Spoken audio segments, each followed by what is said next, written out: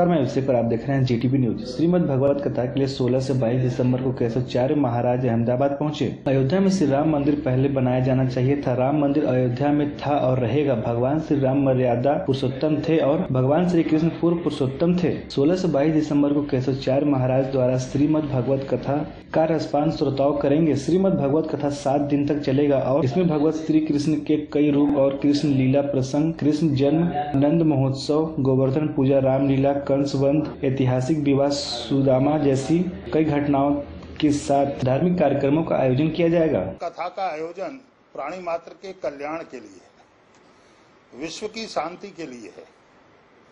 आज समाज में जिस प्रकार का एक भयावह का वातावरण है, प्राणी मात्र के अंतस्थ में आज जिस प्रकार से एक शंका विद्यमान है, प्रेम और सौहार्द का अभाव है श्रीमद भागवत, जीव मात्र के हृदय में प्रेम और सौहार्द की संस्थापना का स्वरूप है। आज सर्वत्र प्राणियों में प्रेम विद्यमान रहे, सौहार्द विद्यमान रहे, अशांति शांति में परिवर्तित हो, और व्यक्ति अपने जीवन के कर्तव्य का अनुपालन, प्रतिपालन कर सके, समाज को सही दिशा दे सके क्योंकि जब तक समाज को दिशा सही नहीं मिलेगी, तब तक दशा नहीं सुधरेगी।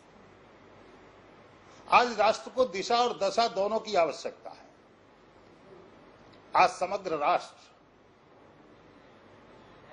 उस स्थान पर खड़ा है, जहाँ प्राणी मात्र सब कुछ समझने के बाद भी कहीं ना कहीं अज्ञानता से युक्त है और वो अज्ञानता ज्ञान के रूप में परिवर्तित कराने का श्रेय श्रीमद भागवत शास्त्र और पुराणों को है। इसलिए समय समय पर ये धार्मिक आयोजन किए जाते हैं और इसी श्रृंखला में कथा के आयोजक प्रफुल्ल भाई ने ये जो आयोजन किया है, ये समाज के कल्याण के उद्देश्य से आयोजन किया गया है, न केवल व्यक्तिगत हितों के लिए आयोजन नहीं पेश है अहमदाबाद से हमारे संवाददाता अश्विन लिम्बाचिया की खास रिपोर्ट।